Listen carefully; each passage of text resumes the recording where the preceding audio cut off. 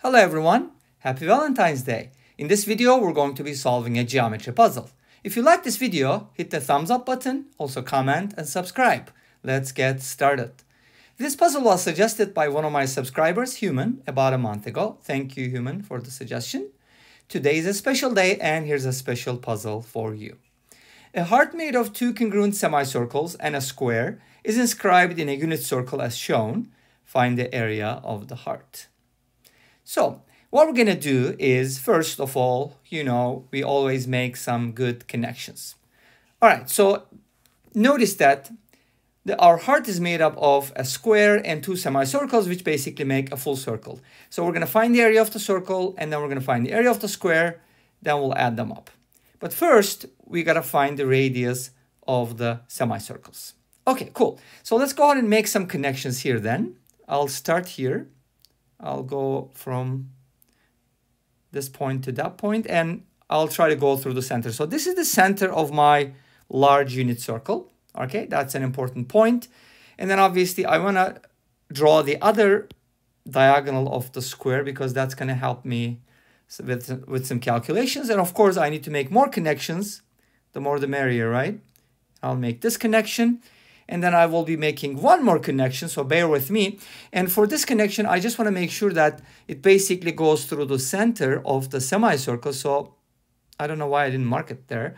So about that would be the uh, center, I think. So let me go ahead and connect this one. So what's going to happen here is basically when you make that connection, it's supposed to be, I'm trying to make it a straight line. Okay, so it's supposed to be basically going through the center because these circles are basically tangent, right? Okay, cool. So let's call the radius of the semicircle r. So we have an rr here. This is going to be 2r. Now, what are we going to do? What's the strategy here? Well, the strategy is going to be pretty interesting, and I don't think we used this before. Uh, this is a special puzzle, so it requires some special method. Okay, cool. Now, how do we proceed? So I'll be making one more connection with your permission because that'll hopefully make things more clear. So if I go ahead and connect the center of the semicircle to the center of the square, this should be a 90 degree angle and then this should be a 45 degree angle, don't you think? Okay, this is also 45, but we don't care about the other one. Now, here's the critical part.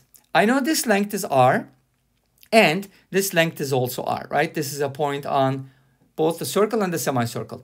And since this is a unit circle, the whole thing from this point to that point is 1. If I subtract r, then I get basically 1 minus r, right? So this is r, this is 1 minus r. Okay, so I got that length too. Now I got a couple more lengths to take care of. Let's go ahead and do that. Now, since the hypotenuse of this right triangle, let me shade one of them. There's four of those, but I'm just going to shade this one because if I do the other one, it's going to be confusing.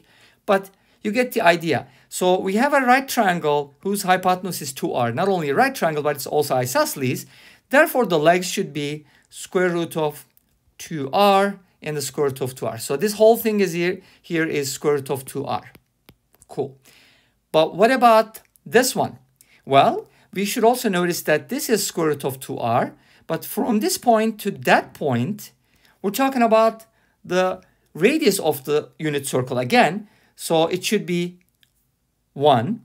If I, if I subtract the square root of 2r, this piece is going to be what? 1 minus square root of 2 times r. Correct? Okay, great. Now, I got to find this piece because that's basically the critical piece that I need for my calculations. And how do I find that piece, right? Okay, to be able to find that piece, this is what I'm to do. From the height of this triangle, whose base is square root of 2r and whose height is square root of 2r, I'll subtract this quantity, 1 minus square root of 2r, and it should give me that length or the other height that I'm looking for. Cool. So what does that look like? It basically looks like 1 minus square root of 2r being subtracted from being subtracted from square root of 2r, right? And if you do that, you're basically going to be getting 2 square root of 2r minus 1. So that length is basically this one here. Let me write it down. 2 root 2r minus 1. Now, here's the triangle that I want you to focus on. Okay? So we do have a triangle one of the angles is 45 degrees. What I'm going to do is on the next slide, I'm going to go ahead and copy that triangle. I'll make it bigger, and then we'll just work on that triangle. And that's going to be our solution method here. But how do we work on that? Stay tuned. Okay, cool. So let's go ahead and go to the next one. So here, basically what we have is we have a right triangle. Well, it's not a right triangle, so correction. We do have a triangle whose angles are given like this. So this is a 45 degree angle, right? And this length here is 2 root 2r minus 1. Great. And this one is 1 minus r. And this one is, okay, let me go back here. This piece here is, I didn't talk about that. I just want to mention that real quick. And that length is r. Cool? Okay, great. So we do have this right triangle. Well, I keep saying right triangle. Sorry about that. It's not a right triangle. It's a triangle. How do we solve for r here, right? We, have we have three lengths. We have one angle, which is 45 degrees. How do you go about solving for r? Okay, well, this calls for what? Law of cosines. Exactly. Okay, so we're going to use law of cosines. How do we use law of cosines? Let's just remember that. Law of cosines basically gives you a relationship between the three side lengths and one of the angles in a triangle. It works for any triangle. That's what's cool about that. So you can go ahead and use that. But guess what? We don't have to use the law of cosines. We could also use another method. But guess what? Okay, let me show that method. Let me show that method and then I'll use law of cosines because I said that I was going to use something more interesting. Okay, the other method involves dropping the height here and then forming a 45, 45, 90 triangle. So in this triangle, obviously, you know that the hypotenuse is given, right? And then you can basically calculate this one, this length here, because you know the hypotenuse, just divide that by root 2, and then subtract that length from r, and then you'll get this piece, right? And then you can just use Pythagorean theorem. So that's one of the methods, but I'd like to use the uh, law of cosines because it's fun. So let's go ahead and use law of cosines here. All right, awesome. So this should be r, right? So how do we write law of cosines? Well, I'm going to be using this side as our reference. So it's going to look like this.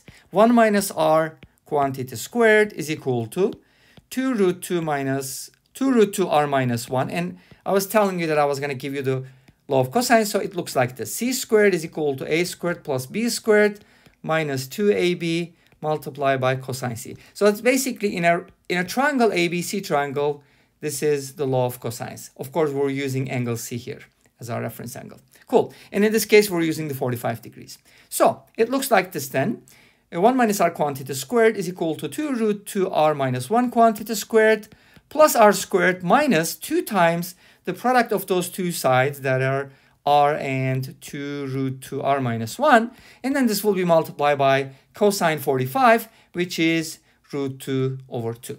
And the 2 cancels out, which is kind of nice. And then this gives us a nice quadratic equation. So let's go ahead and simplify this and solve for r.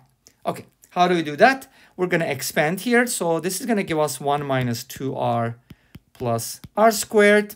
And the right-hand side is going to give you, remember when you square 2 root 2, it's going to give you 8. So it should be 8r squared minus 4 root 2r plus 1 plus r squared.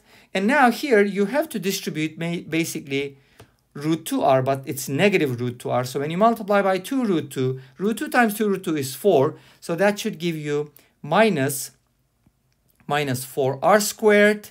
And then when you multiply negative root 2r by negative 1, that should give you positive root 2r, and that's it. Cool. Now let's go ahead and simplify this. 1 cancels out, and r squared cancels out. Nice. Now since we have more r squared here on the right-hand side, everything looks positive. Let's go ahead and collect everything there. So I have 8r squared minus 4r squared, which is 4r squared. And then I have now minus 4 root 2r and then plus 4 root 2r. So they're like terms. I can just go ahead and um, add them. Negative 4 plus 1 is negative 3. So that gives me negative 3 root 2r. And then I'm going to bring the negative 2r over to the right, but that's going to become a positive quantity, which is 2r. And the whole thing is going to equal 0, since we've taken care of everything, right? Okay, cool. Now, there's many ways to solve this problem. Obviously, this is a quadratic, but there's no constant, so it's easy to solve. So one method we can use definitely is basically we can just go ahead and put everything on the same side. We already did. So I can just go ahead and factor. Or one of the methods is, which, which is something that I kind of like, is leave the r squared alone and then put all the r terms on the other side and go from there. So here's how it goes. I have 4r squared and then on the other side, I have negative 2r, remember? And then I had negative 3 root 2r. So I'm going to add that 3 root 2r. And then I have minus 2r, right? So this is basically what I have. Let's go ahead and factor this a little bit. And now I can do, basically take out the r, 3 root 2 minus 2 times the quantity r. And obviously r does not equal 0. We know that, right? Hopefully we do. And since r doesn't equal 0, I can divide both sides by r. Then that's going to give me something nicer, obviously. 4r is equal to 3 root 2 minus 2. And finally, we're going to divide both sides by r. And this should give us 3 root 2 minus 2 divided by 4. And this brings us to the end of this video. Happy Valentine's Day again. I hope you enjoyed the video. Thank you for watching. I'll see you tomorrow with another video at the same time. Until then, be safe. Take care. Bye-bye.